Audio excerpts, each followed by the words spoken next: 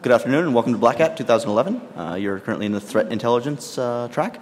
Uh, we have Alex and Julia from FireEye who will be discussing the Rustock botnet.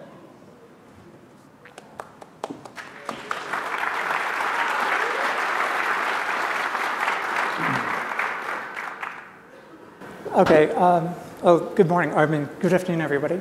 Um, so just a really, really quick announcement besides filling out your feedback form. If any of you knew Len Sassaman, there, will be a memorial uh, Friday at DEF CON, uh, Friday night in one of the, uh, one of the um, Sky Talks rooms. So anyway, the, uh, so, the, um, uh, so Alex and I are going to tag team on this, basically. Um, and, uh, and basically, the, for the next hour or so, we're pretty much going to cover uh, similar, similar spam botnets and, uh, and some of the history of, of Rustock as well as the, uh, the current takedown uh, that Microsoft did earlier this year. So I guess uh, Alex will probably take over from this point. Sure. So I'm going to get started. So my name's Alex. I'm a FireEye. Um, wow, these mics work pretty well. And if you need a laser pointer. Sure. Um, so all these people couldn't get into Kaminsky's talk? That's a little yeah. surprised. But uh, yeah, so obviously not a marketing presentation, but I do, I do want to talk real quickly about the way that people typically got in, in, infected with, uh, with Rustock and with other bots that are kind of similar to it. And with some of the small intricacies that were built into Rustock to make each different step of the infection lifecycle work a little bit better. Um, but I don't think it's really any, any surprise to anybody that people get infected either via the web or via email today. You know, there's certainly a small percentage of malware that comes in via USB stick or you know, other infection means. But for the most part, you're getting infected through some sort of drive-by download or some sort of email attachment. Right? It's attacking either the browser or the browser infrastructure, PDF, Flash, Office, QuickTime, RealPlayer, all the plugins that sit inside a browser that enterprises are very bad at patching, and home users are even worse. Um, so because of that, that's where they've, that's where they've gone after. Um, and then, you know, once the exploit comes in, obviously, the only thing browser-based malware does, or the only thing exploits do for, in, the, in, the, in the realm of browser-based malware is download and run an executable. So it doesn't matter if it's a PDF exploit or a JavaScript exploit or a whatever. For the most part, for the most part, the only thing the shellcode does is download and run an executable. Uh, and then once they have you know, persistence on the system, they're going to beacon out to remote command and control. So that's the whole exploit lifecycle. So you, you, you probably think, okay, well, botnet takedowns aren't that hard, right? All you need to do is gather up all the malware for the same, for the same family, right? If you pick a DDoS bot or you pick a spam bot or you take a data stealer, if you have access to massive amounts of malware, which most AV companies, most security companies do, you know, either from your customers or from a commercial source, you can gather up all the malware and then track down the command and control and then take it down, right? Talk to people, say, hey, that's bad, you got to stop doing that, and the, the bot goes away, right? Well, that's, that's kind of what I thought um, at one point. You think that in general, people want to do the right thing, whether it's a domain registrar or registry, or maybe it's some sort of ISP or hosting center. If you're providing good data, they'll act on it. Um, and that's true in the US, which we can see in Rustock. But I want to show an example of Grum, which is another like top three spam bot that I tried to take down a couple years ago, and it didn't work. And I'll, I'll talk about why it didn't work and actually the harm it created because I like failed at taking it down. Um, but you know, Grum's a huge bot. You know, hundreds of thousands of nodes, sends billions of spams per day. Depending what stats you look at, you know, what, what anti-spam vendor, whether it's Ironport or whether it's Symantec or whoever it is, you know, everyone has kind of a different way of measuring spam, but it's always in the top couple spam bots worldwide. Um, and just like Rustock, the command and control for Grum never changed. Um, well, why do we call it Grum? We call it Grum because the bad guys called it Grum, the criminal. Um, so in the actual downloader that pulled down the initial infection, he was calling it getgrum.php, which is why the whole industry calls it Grum. Um, naming malware is always kind of interesting. Everyone has a different name, but in the case of this, this is pretty much what everybody calls it. Um, so that's kind of how we started. We, we started tracking the, um, the downloads of this, because that's kind of how you have to do your research, right? You can't reverse engineer something you don't have. So you figure out the characteristics it's using to pull down the malware, and you gather up, you know, hundreds or preferably thousands or tens of thousands of samples of the malware, and you start running it. Right? So when we started running Grum, this was in like 2009. Um, hopefully this is big enough. Yeah, we noticed that the vast majority of the command and control servers existed in two major net blocks. Um, but then when you dig deeper those net blocks, when you look at routing charts, you look at advertisements or whatever, you saw that those prefixes were only being advertised by one data center. And that was this data center called SteepHost. And these guys still exist. So this is naive me. This is a couple years ago me. I said, okay, well, you know, I've, I've got, I know exactly where the command and control is. It's obviously one group supporting this botnet, right? I should be able to turn this over to all their upstream providers or to the data center or to whoever, and they'll take it down, right? Well, they don't. They don't. Um, so I put on my FireEye hat and I sent this nice official email, and I, I, I, sent them, I sent them all the Grum stuff. You know, I sent them all the information about. Uh, yeah.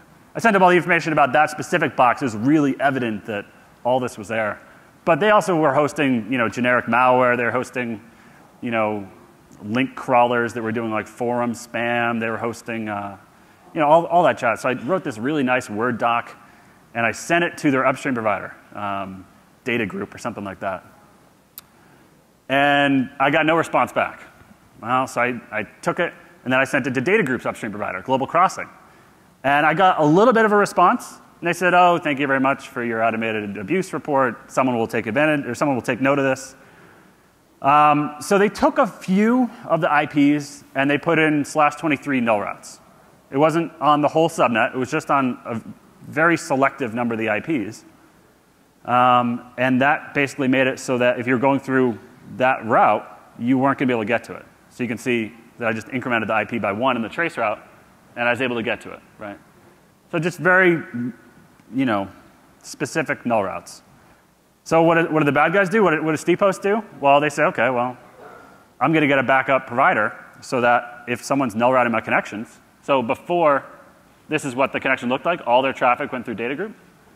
And when a null route was being placed actually on global crossing to go through data group, um, they got a backup provider to, to just for a little bit of resiliency. And it kind of makes sense that they would want to do that anyway because you want to have a dual home network. But they weren't before. But with a little bit of pressure, it forced them to go and buy more connectivity. Was that good? No, not really. It really didn't have any operational effect in terms of overall spam on the internet. You know, the computers are still infected. It put them out of business for like maybe half an hour. Um, but because these guys are like in a legitimate data center, they're in like, it's kind of like a peering point or like an internet exchange. They had access to all these other, you know, tier one or tier two internet providers, so they just buy transit from other people. Um, and then worse than that, they started adding multiple levels of obfuscation to their command and control servers. So this is what the bot talked like at the time. It doesn't look like this anymore, and I'll get into that. But this is what the bot talked like at the time. When you, when you connect and you knew what page to go to, it would give you this unique ID. And then this ID would be used as a key to do the obfuscation or like bad encryption for the command and control. But if you hit the command and control server directly, it would throw up this fake musician's friend website. And they were actually like iframing it to musician's friend. So they, you know, they, they went back, SteepHost went back to their upstreams and said, oh yeah, you know, I guess uh, the computers got compromised. I'm guessing what they said, right? I guess the computer got compromised and you know, see, it's really a legitimate site. You know, it wasn't, it's not command and control. But at the same time, they were, you know, still, still an active CNC. Um, and they did it with a, a, bunch of the other CNCs. So this happened like hours after the null route. Like they were clearly watching exactly what was going on. Um, and so this is a fake blog, but it's the same, same principle. If you connect the way the command and control ex expects to, you can still talk to it. But then a few weeks later, they got freaked a little bit. So they had, they had used that old command and control structure that like gets spam ID, like very clear in the, in the UI for a long time, like a year, a year and a half. And they've actually subsequently sold off that code base or at least shared it with someone else. Um, so what they did is they changed their command and control structure. So now everyone who had written snort signatures for what the old bot looked like, those didn't work anymore. And they changed it to this like fairly innocuous looking uh, UI or, or URL rather. Um, and they started embedding the command and control inside the user agent field. So all those snort signatures just didn't work anymore. And the bot was still up. So was this successful? no, it was like a pretty big failure, right? Um, so so that's, that's all I'm showing here, is that the, now it's all embedded inside the user agent. And this is what it looks like today, right? It's still a top, pardon? Oh, oh no, I guess uh, not supposed to ask questions. Uh, you can ask questions if you feel like that. You can shout it out. I don't, I don't really care. But uh, the command and control is now embedded inside the, the user agent. So it's not like particularly super sophisticated, but it was good enough to defeat all the standard mechanisms that, mechanisms that people had put in place to, uh, to detect that bot.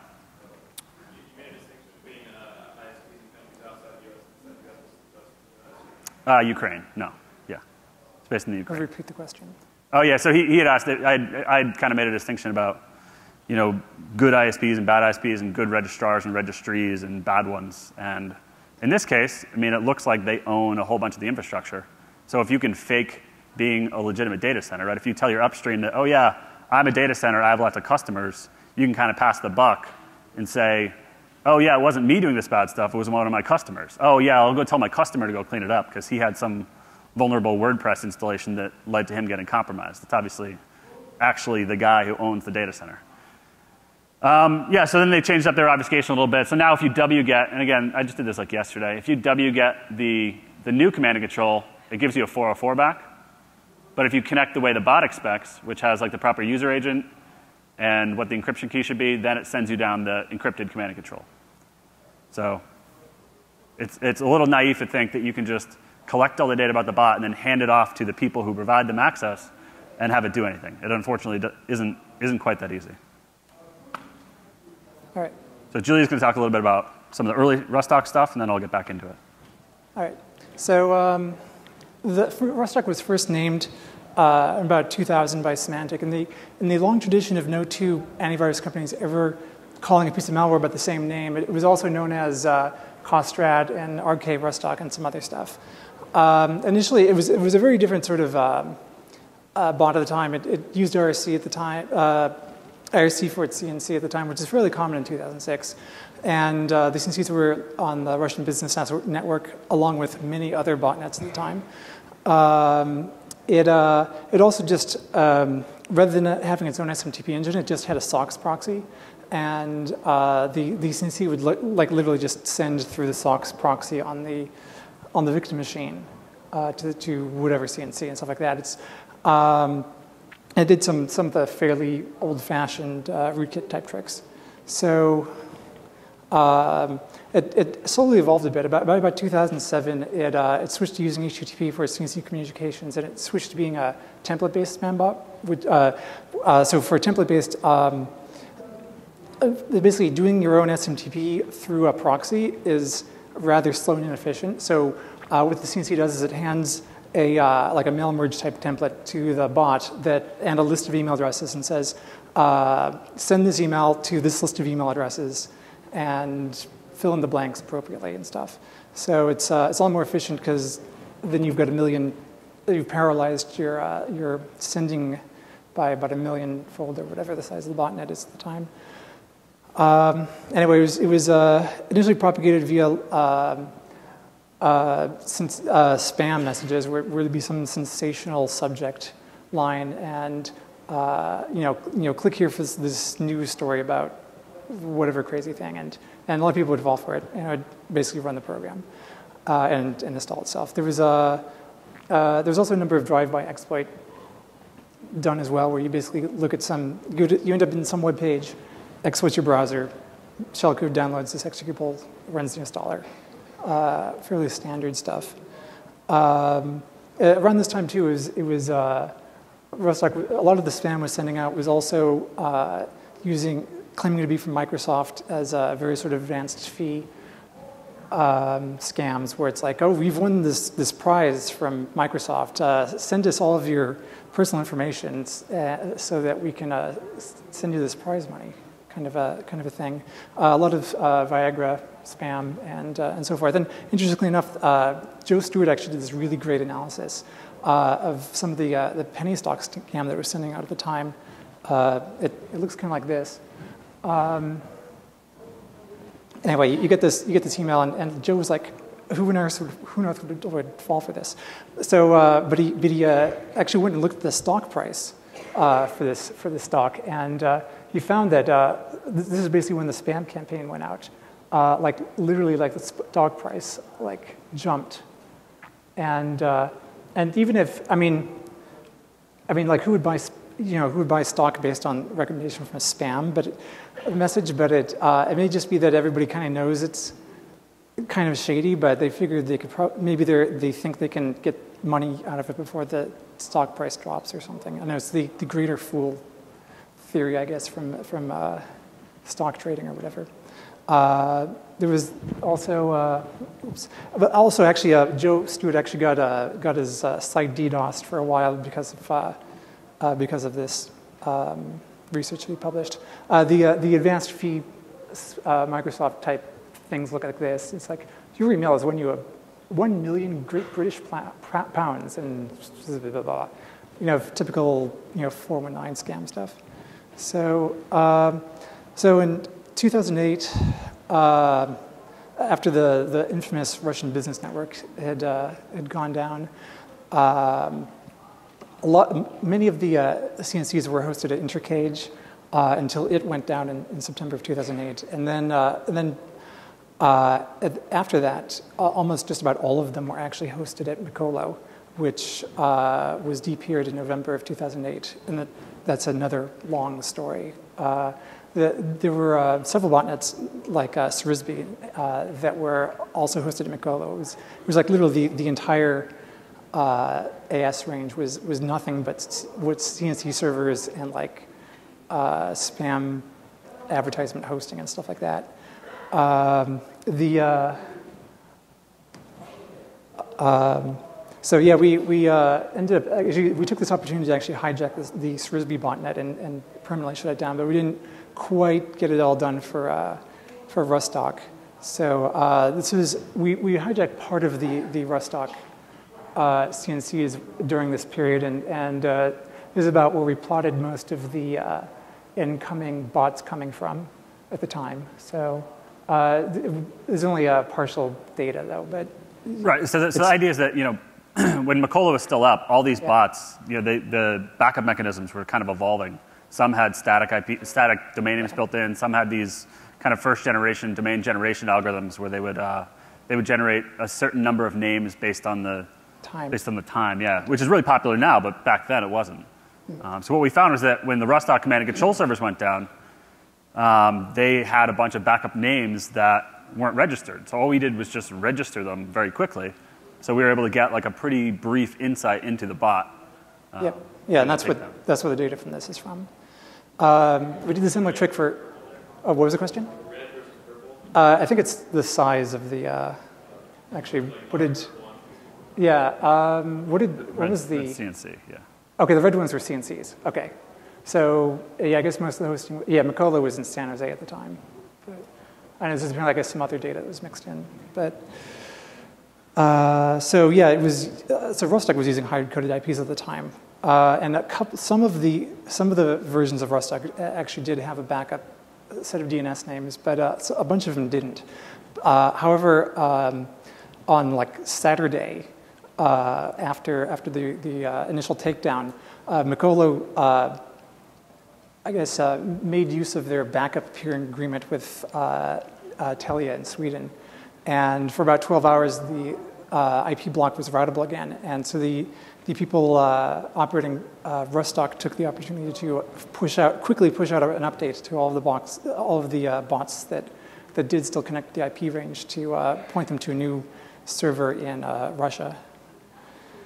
And anyway, 2009, more the same and uh, just kind of sending more and more and more spam. It was, I think it actually ended up being uh, 2009 is when it finally like hit uh, hit being uh, the the majority of of source of all spam on Earth.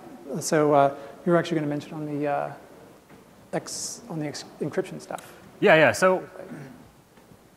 So the, the whole the Aurora, which I'm sure everybody has heard about, and was wildly overmarketed in 2009, and certainly continues to be overmarketed um, what was interesting about that attack was that it used something that wasn't next gen then, but it was certainly not used very widely. And that was using some sort of encryption, really obfuscation, built into the initial shellcode so that when the shellcode executes and it calls URL download file A or URL download cache file W or something, it pulls down a file and that file is obfuscated. So this is the first stage downloader. This isn't like an exe that exists and it's going to pull down over SSL. This is basic obfuscation that's built into the shellcode so that when it, when it brings down the exe, it's encrypted. And the only reason you would ever do this is to defeat some sort of network-based device that's generically watching for like a PE header, right? Looking for MZ, extracting to the end of the TCP flow, and then reconstructing it. That's really the only reason you'd do this on the network layer, because to the host, it's going to get reconstituted to an executable, um, just as if it was downloaded directly. So Aurora did this two years ago. Um, and unfortunately, it was not the first. Yeah, it was, not, it was definitely not the first time, yeah. but it wasn't very widely used. You know, the, the concept was around, but really only in, in targeted attacks. Um, but now what you see is um, essentially Rustock doing the exact same thing, which I'll talk about in a sec. Um, but uh, you know, a few years ago, in like the, the days, the pay per install infrastructure was really just kind of coming up to speed. It, it again, it existed, but it wasn't as prevalent as it is today. Um, and Rustock was distributed almost entirely through the pay per install mechanism. So the initial shellcode executes, it downloads a file, and all that file does is go and download other files. Right? The, the, that executable doesn't have any real functionality built into it, um, except to go and download other files. So from a dynamic perspective, from an analysis perspective, these downloaders have been really effective because they're not doing heuristically strange things to the desktop. Right? When you, when you pull down one of these downloaders, and there's obviously exceptions, but for the most part, they're not like hooking anything in kernel mode, they're not escalating privileges, they're not generating a whole bunch of outbound connections. All they're doing, they, they'll come with like a, a couple of URLs, sometimes a text file, and they'll just reach out and download things and run them. Um, so that gives them a lot more flexibility because they can put a thousand URLs into one of these things, and they only need one to get through. Right? So that's kind of how they're able to be so be so successful. And there have been a bunch of services that have popped up to support this. Um, and there's whole teams of people that all they do is install software for other people. Um, so Gangstabucks is down now. It's, it, it's, it's not around because it got too popular. So I pulled this off uh, Brian Krebs's blog. Uh, but uh, Chris Grier from UCB had, had also sent this to me um, after I'd posted something about Rustock on, on our corporate blog. And he said, oh, yeah, well, all that Rustock stuff is, is being downloaded directly by, by Piptia, which is the downloader pushed out by Gangstabucks, um, which we, we'd kind of known, but it's always nice to get third party validation from people. Um, but interestingly, when Rustock, when that, when that downloader, when Piptia was downloading subsequent files. In the case of Rustock, it was downloading encrypted files.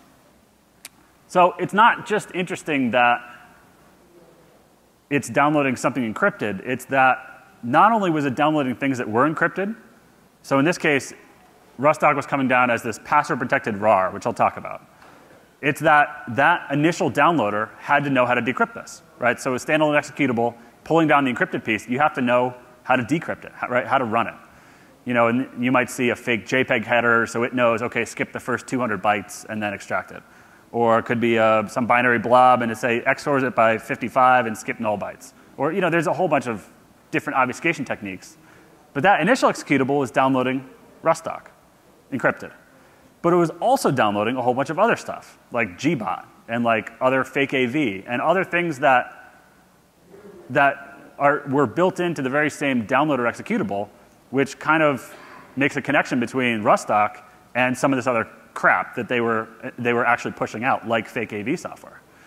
Um, so just the, the, connections you can draw between what was built into some of those downloaders and some of the malware families they were fetching are interesting. Uh, but anyway, but I talked about how it pulls down this fake RAR file. Um, they did something interesting on the downloaded file which would never be seen by a human, right? There's no, if you're on a desktop, you're never going to see this stuff coming down. This is only to defeat other network based people. So, network based tools that are watching for executables, or in this case, they're watching for RAR files, they would see this, and what they're trying to do is throw them off the trail. So, they'd actually call this RAR file, which was like two steps into the infection process. um, my backup 21 or my photos or photo 21 or backup.rar, they would name the RAR files something completely innocuous. So if you were a network guy, like if you were an analyst at some big company or you just were watching network data, watching for statistically interesting things or heuristically interesting things, if you see this RAR file come down, and let's even say you extract it, right? You extract this file called my backup 21, and you try to open it, and it ends up being password protected. So it's, it's not just that you would think, oh, you know, that's, I can't tell what it is. You're probably going to go in the opposite direction. You're probably going to say, okay, well, it's completely reasonable that someone password protects their RAR file, even though RARs are maybe a little weird, they password protect their RAR file if it's called my backups. So they think in the other direction, like, oh yeah, it's probably legit. I'm probably not going to look into this.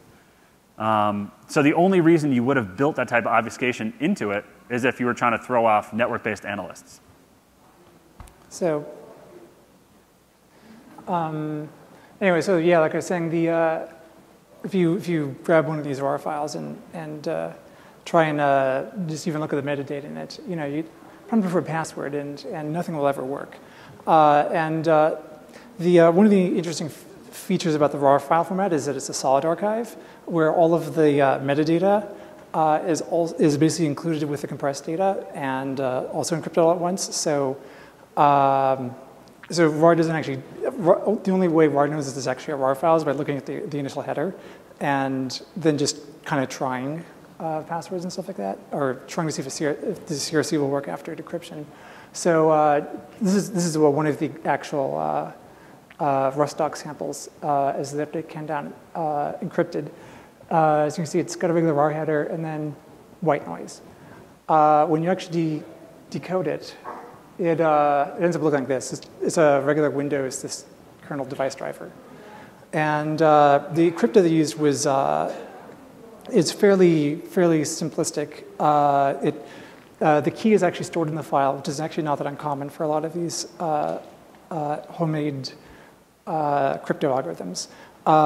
the, basically, it's a four byte key, and you, uh, you do some math on it. Basically, you add it with a, a, constant, and then you just take the least significant byte of the key and XOR it with the least significant byte of the, uh, the encoded data, and that's your output byte. Uh, and then basically the key, the, the four byte key is just permutated in various ways to uh, essentially get the, uh, the next byte for the stream. Um, anyway, so uh, I think that was about 2009, I guess. So in 2010, the, uh, the other interesting developments were that it, uh, Rustock seemed to have gone on vacation uh, over Christmas, and nobody exactly knows why. Uh, I mean, there, there, was a, I mean, there was a noticeable drop in spam back in October last year when uh, Spamit uh, went down. That, that was basically the Canadian pharmacy affiliate program thing that, that was where Rustock got most of its money from, I guess, apparently. Um, was basically sending sending spam on behalf of that uh, whole group and stuff like that. But it was uh, the way that the, the, affiliate thing worked was basically if you if you it was basically a way of getting contacting um, you know purveyor, purveyors of uh, imitation pharmaceuticals with uh, operators of, of, botnets and uh, and how to you know uh, get money for spam campaigns or something like that. It was basically it's, it's how the business uh, side of this thing apparently works. Right. Yeah. Krebs had done a really interesting write up yeah. about this. I, I, talk about Krebs a lot, but he, he did an interesting write up about this. You, you, guys should all read, where he was analyzing um, not from a spam perspective, but from a back end perspective of all these affiliate programs. You know, unfortunately, the affiliate programs, a lot of them compete with each other. So like bad guy A group wants to like discredit bad guy B group so that they use one service over another. So they leaked the database of one of the competitors to Krebs. They're like, oh yeah, here's a bunch of data, go and like blog about it. And what he found was that the top three affiliates were all the same dude. So like the top three money earners for Spamit, you all use the same like web money ID, and they were all the Rustock guy. So like he would register like multiple affiliate accounts and manage to be the top one, two, and three affiliate for these huge spam campaigns um, and just make boatloads of money. But he didn't want to be too big, or else everyone would get pissed at him, like, oh, who is that one username? So he would like register multiple accounts on all these services and still be the top earners for all those different accounts. So it was, it was pretty cool. Yeah. So um, anyway, so over Christmas, uh, it, it uh, the botnet just stopped for a couple of days, about nine days, or however many days that is, about two weeks or something, and nobody knows why. And, and last I heard, nobody has found out yet. So for all we know, the operators were abducted by aliens for two weeks. I don't know. But uh, anyway, this is, uh, if you look at the statistics, you can see the, the drop, like right over Christmas vacation. Yeah, Rustock's always had an interesting spam pattern that's a little bit different than all the other bots in that it's not like, like continually sending spam the way some of these things are. It sends like, like massive amounts of spam in spikes. So like one spam run, and it was, it was because it is implemented at the kernel level, it was more efficient than a lot of bots. It was able to send a lot more spam. Um, similar to like Srizbi, which is another similar fairly yeah. sophisticated rootkit. Um, it, it's able to send it much more efficiently at a much lower level, um, which is why you see those peaks because it doesn't need to send it over time. It has enough bots that it can just pump out everything at once. And it's a little harder too for the anti-spam vendors to catch up if you send it all at once instead of over the course of a couple hours.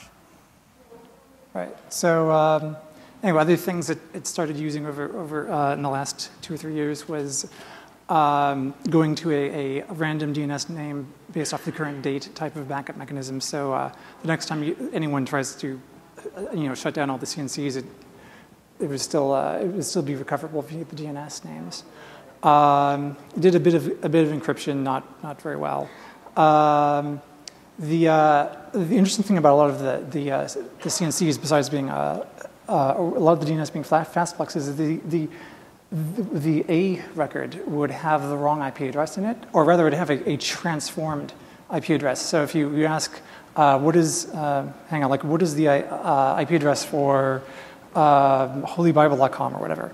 And it would send you back, oh, it's 1234. And then Rustock would take that and transform it to the actual IP address and connect to that uh, with the appropriate uh, headers being faked to it and so forth. Um, so the let's see, this one was the, uh, this was like the, one of the main, uh, or this is like the main incoming uh, DNS name for most of uh, earlier this year. Yeah, so a, a, lot of times this name would never exist. So it would do, it would do the lookup on like some other domain name, would get an IP address, and then would connect directly to this. But like for the, for the most part, this domain name, if you were to look it up directly, never connected to anything. Um, but what, what was interesting about the way they kind of changed their communications and like You'll see this throughout the, the different steps of their infrastructure. They're trying to fool different types of people in the different ways they do obfuscation. So again, in this case, they're going after the network guys.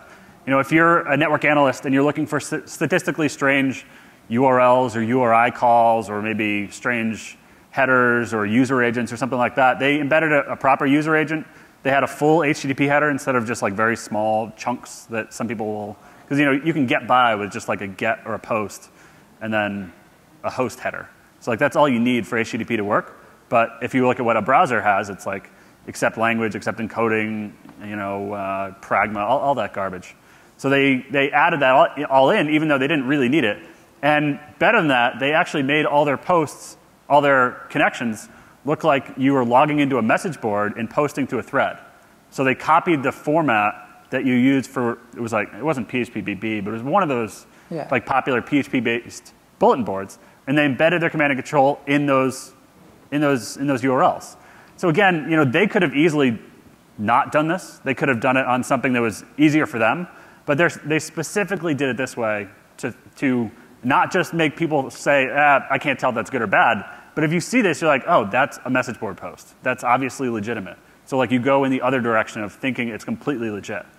Um, so that's why they were able to stay around and be the biggest and baddest for, for so long.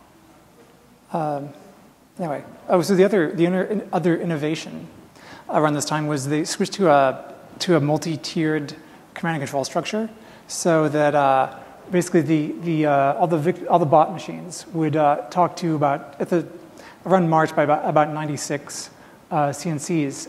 And then behind those, uh, well, basically this is, whoops, these are the ones you, everybody could see because it's what the bot, bots are talking to and all the DNS points do. But behind that, there was some other set of CNC servers that was essentially sending instructions out to these. And, and these are, are uh, not visible, so to speak, from this side of, of the world. And uh, the, uh, the other thing about this though is if you if you take down is that if you're going to do a takedown, you need to like get this this entire tier, uh, or else uh, if you if there's even one control server left, uh, all of the bots can be updated because there's still there'll still be one responding to it, and uh, this this kind of structure also lets the uh, the operators. Uh, essentially, the control command and control servers end up being very ephemeral, so that even if they go down, it's, re- it's probably much easier, really easier for them to bring another one up, since there isn't really any smarts on, on this layer. Uh, and so, yeah, if they, they do go down, they usually start doing the DNS name lookups. Uh, there was one static name and then a bunch of algorithmically generated ones. So, uh, other changes, it, it, it started using uh, SSL for doing the SMTP uh, around the end of 2009, and it stopped in 2010, probably, well, originally, initially, probably because uh, a lot of heuristic spam classifiers will give uh, an incoming message a higher score if it, if it comes in transported over SSL. And uh, then by early 2010, I guess they, or some, they stopped doing that, um, possibly for performance reasons, because if you don't have to do the whole SSL handshake, it's probably a lot faster to send, pump out million, billions of emails.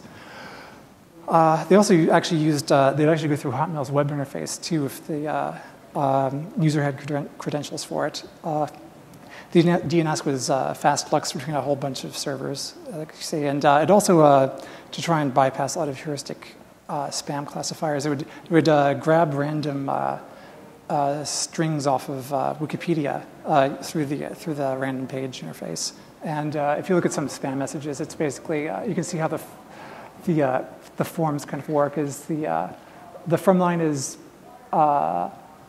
basically, you know, four-digit number with some other stuff at, you know, a bunch of DNS names probably pulled out of the, uh, the uh, recipient, uh, recipient email list or something like that.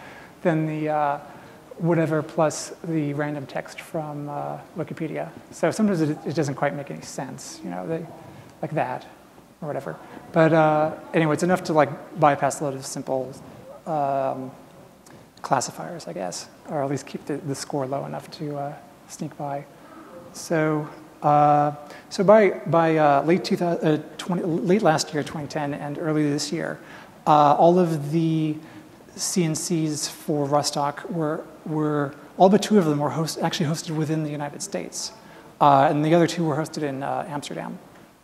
And uh, you know, like places in, like in Kansas or Missouri and uh, no Kansas, and there's some that you know Bay Area and so forth, went down in Texas, or a couple down in Texas actually. There's, there's about, was it nine uh, hosting providers, I think it was?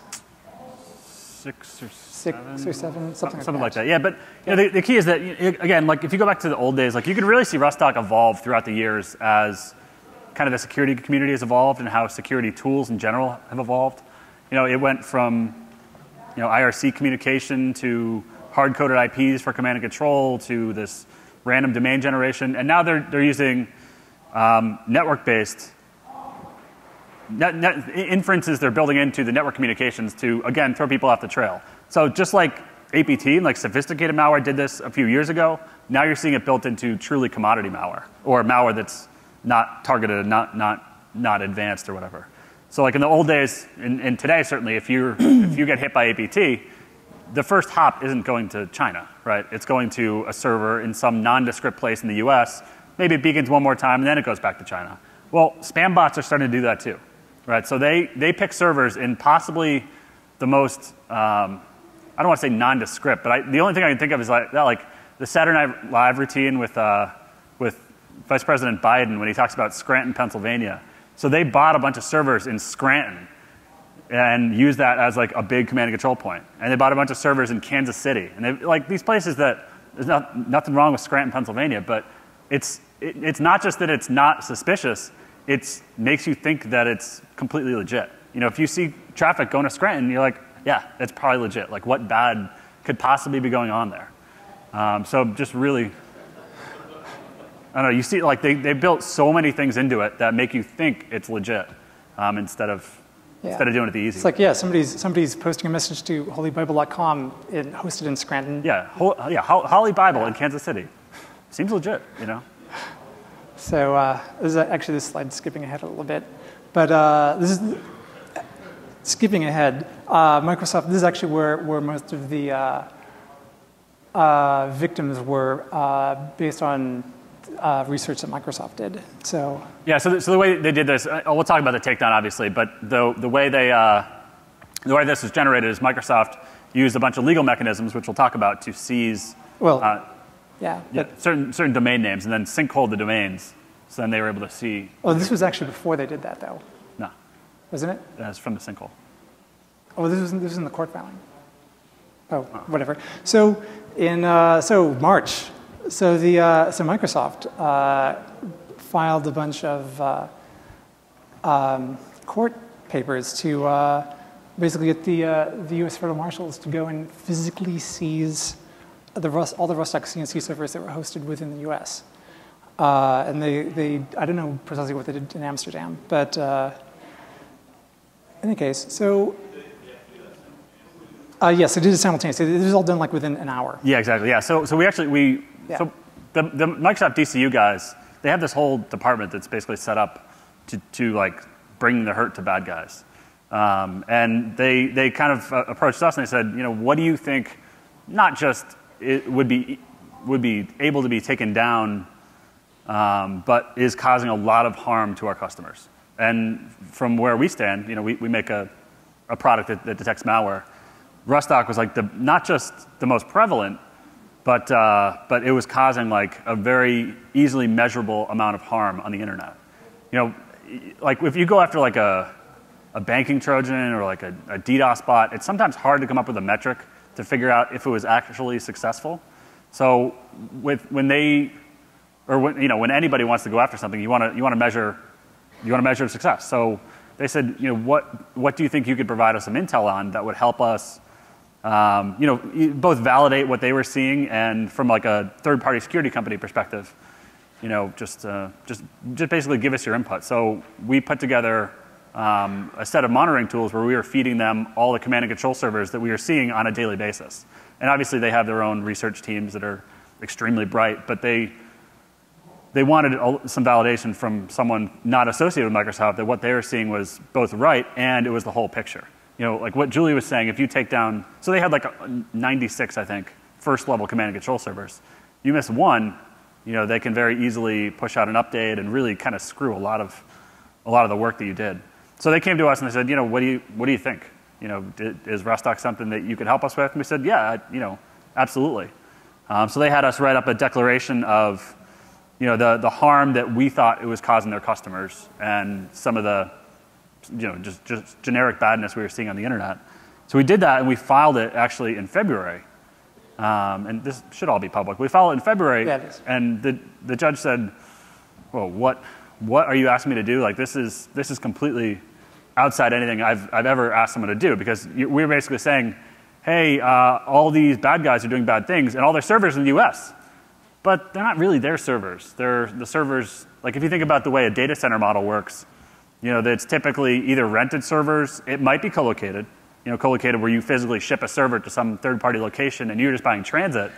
But you're basically asking the, the court to tell these third-party providers to turn over access to servers that they may or may not own. Like there's just a lot of like kind of strange mechanisms. So uh, he said, you know, come back in a few weeks and I'm going to reread this and I'm going to, you know, make a judgment. So that's that's what happened in, in uh, a little bit before this in March, the, the judge finally said, yep, okay, and there were some law enforcement people there, but we'll, we'll talk about the technical stuff. So, um, uh, so the Microsoft's name for this was uh, Operation B107, uh, following a same, similar uh, sort of uh, methodology and naming scheme as Operation B49 last year, which took down Waledac.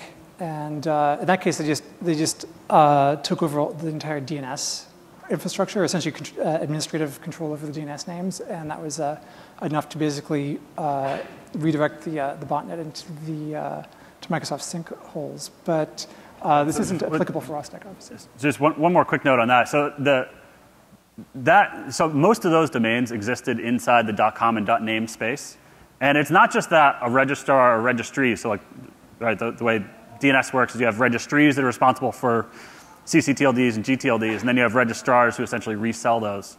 and sometimes you have a shared model. But it's, it's not that some of these registries, and in particular this one was in the US, it's not that they didn't want to help out, it's that they you know, weren't exactly sure whether they had the, the legal authority to help out. You know, this is sort of the, the coordinated takedown is sort of a, a new model that, that security and, and, and, and the ISP community are sort of working on.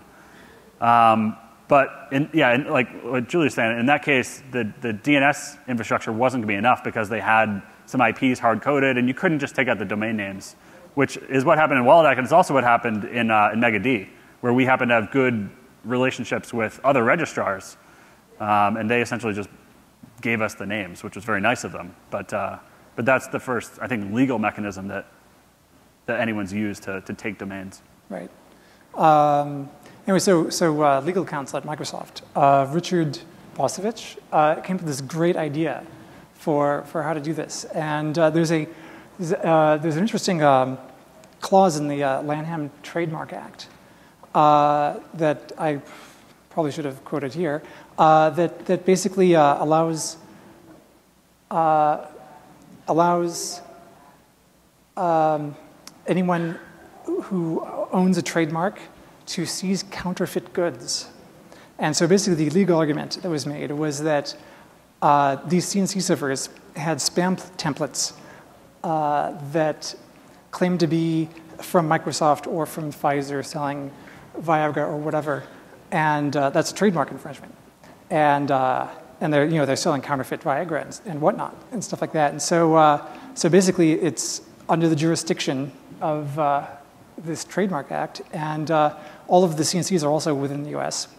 jurisdiction, so this still applies. And uh, the uh, there was a lot of victims in the U.S. also, and so basically the uh, the jurisdictional requirements have been satisfied as well.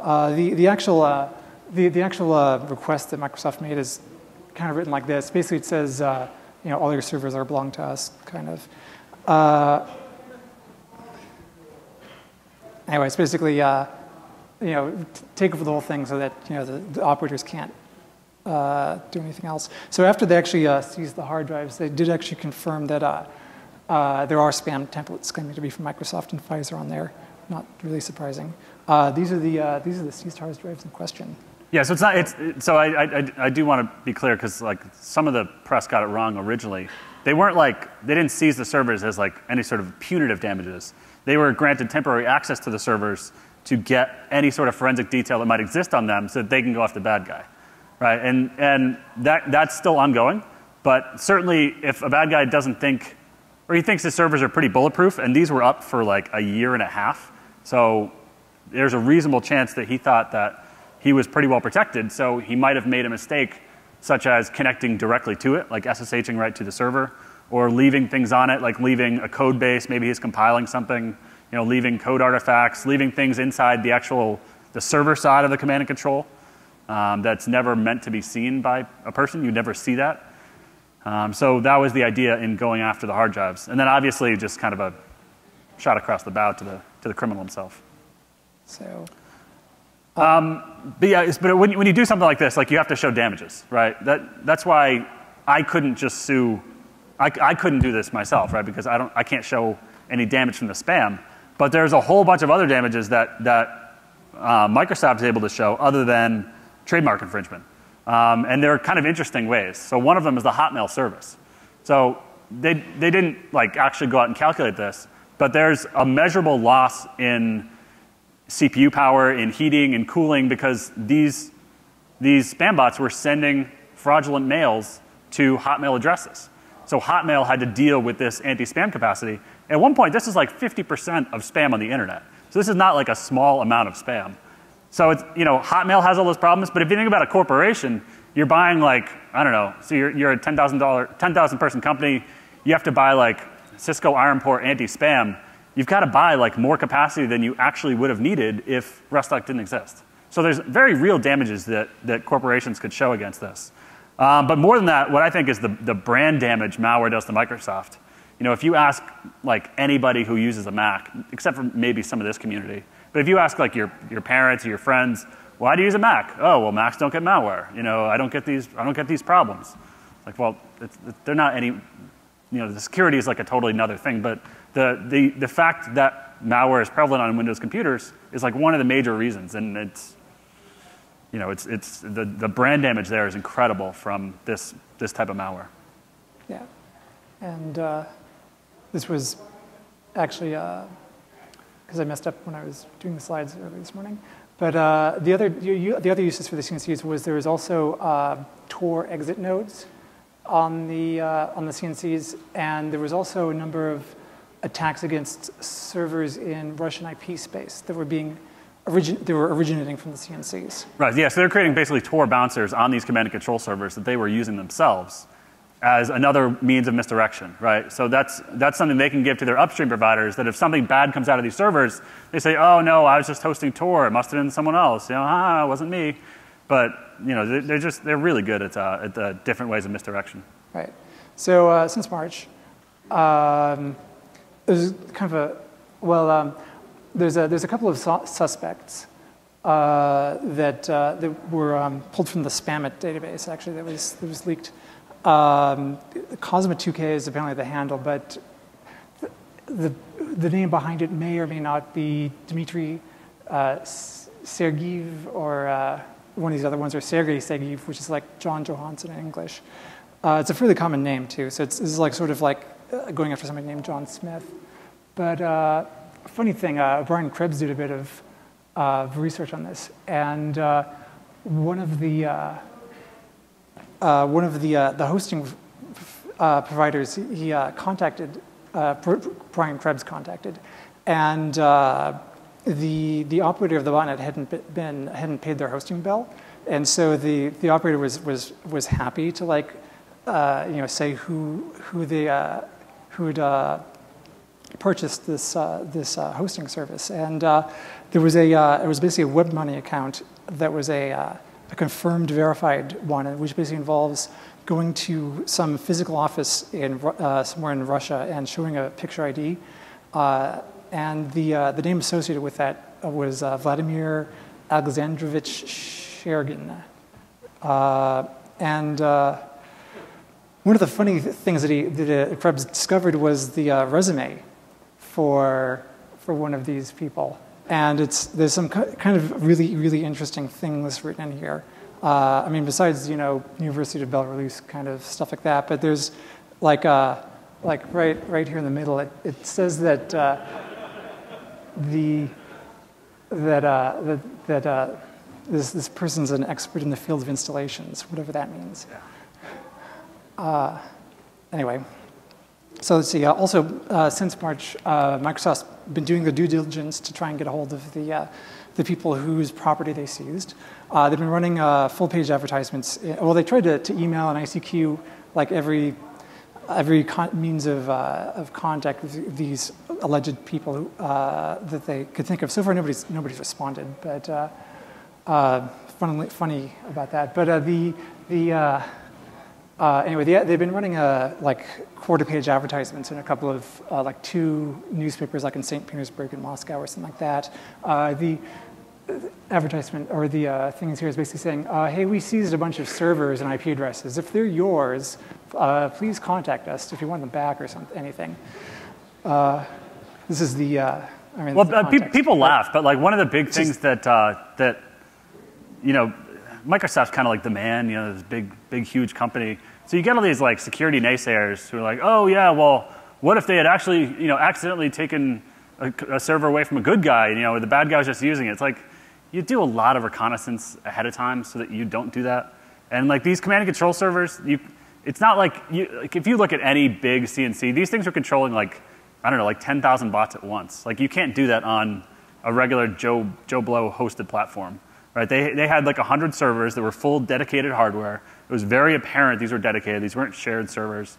Um, but obviously, no one complained that their stuff was accidentally taken down. It's just, yeah, this, if you're careful, it doesn't happen. Yeah, I, I, I find this quote hilarious. It's from the, uh, from the, uh, up, the uh, court update that uh, no customers of the IP addresses in question or the domains in question have requested that the IP addresses and domains be reinstated because, anyway. So, uh, Uh, anyway, so uh, uh, from Microsoft's Sinkhole, the, uh, the number of uh, bots has actually been declining. Back in March when this was done, it was about one and a half million, and now it's about half of that. So it's, I guess it's, well, two data points. It's hard to say if that's linear or exponential, but Yeah, you know, measuring measuring bots by source IP is like a just a pretty bad way to do it, especially when you do it over more than the course of the, a couple of days. So if you get 1.6 million hits over a week, you know, it's pretty fair that it's around a million. uh, yeah, I can't remember if there's, there may be a unique identifier in this case. I've forgotten. Not that we'd have. This one? The sinkhole would, but Yeah. Uh, anyway, similar techniques were used for Coreflood back in like May or June or whatever it was. Anyway, so the uh, so this is what, what global spam volumes look like. Yeah, so this, is- this would be the CBL guys who do a really good job of tracking um, bots based on handshakes of their of like the the mail agent. Like they they actually all have unique handshakes, kind of either based on time or based on headers. So the CBL guys, and I, I don't think it's public who they are, so I won't say who it is, but they do a really really good job. And you, so they, they were tracking Rustock, and so the left is over one month and the right is over one week, and you just see it completely flatlines. Um, it just stops, which is where the takedown happened. Um, but the SpamCop guys, who I think are owned by Cisco, um, that's what all the big green spikes are. And then when the spikes stop, that's when the bot went down. Um, so we think it was pretty successful because, I mean, spam is, you know, in general on a downward swing, especially direct to MX spam as opposed to spam via stolen accounts. But uh, I don't know. A lot of people say takedowns don't work, but and I kind of showed at the beginning how you can screw it up if you don't really understand what's going on. But when you're working with the courts and registrars and registries and ISPs and companies that are willing to spend a ton of money on this, which I have to imagine Microsoft did. Work, I worked with these guys for like a year. I can't imagine the number of billable hours they, they, they were charged. But um, it can work if you, if you go at it the right, the right way. Right. So um, I guess shout outs to everybody. So um, basically, a lot of people worked on this. Um, uh, Microsoft did, it, did the bulk of the work, I think. Yeah, I mean, the, the, the Microsoft guys obviously get, deserve all the credit. All we did was just provide them with the daily list of CNCs to help them validate their own internal research. Right. Um, but they had a bunch of people write declarations on behalf of them, and we didn't even really talk about the Pfizer stuff. But Pat Ford, who in, in at Pfizer, actually bought a bunch of the drugs. He got like fake, or he got real credit cards and bought a bunch of the drugs and had them tested. And and there was a 60 Minutes thing where Pfizer was was highlighted, and there were there was any range from like a pretty good knockoff of the drug to just garbage, like just filler, to the wrong thing, like instead of getting you know, Viagra, you get heart, like blood pressure medicine, or you get Viagra mixed with penicillin, which is kind of like, you know, you might not, it's actually a pretty good marketing idea if you think about it. But- so there's, there, but there's a really good 60 Minutes episode about that that you should check out. But, uh, but obviously, uh, a lot of the earlier stuff, Julie had mentioned uh, Joe Stewart did on and Brian Krebs. And Everyone does a good job with this stuff. Yeah. Um, and also, as a footnote, and I forgot to mention earlier on the on the hosting within the U.S. and Amsterdam is another possible reason is that uh, the U.S. and Amsterdam have very very good network connectivity, and if you're uh, you know ta- continuously talking to about uh, you know one and a half million machines, you need enough infrastructure to, to handle that much bandwidth. Uh, I was actually going to do the math and calculate about how much bandwidth is actually needed if I didn't do the Yeah, I mean, but try to imagine a corporate network that's a million and a half computers. Like, I, except for like some sort of like DoD network, I don't know what would possibly have that many systems. Yeah. Um, So, Yeah. right. Any questions? One? One? Okay.